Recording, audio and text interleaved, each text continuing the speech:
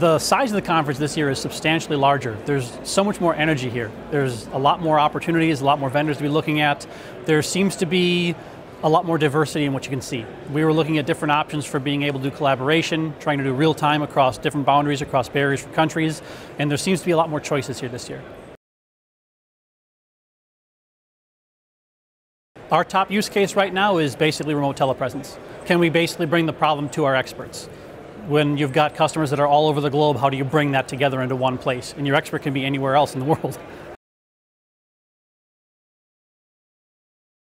EWTS for me is the most important event in the year because this is where I get to establish relationships with real people who are doing real work in the industry. They're the ones that aren't just showing you what's possible, they're discovering the things that don't work and what obstacles will get in the way of actually getting the performance you want out of the product you're trying to do.